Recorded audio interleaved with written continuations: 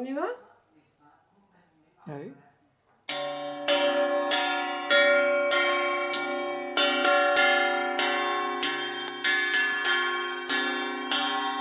Il est 8 heures. Coronavirus. Bravo les médecins.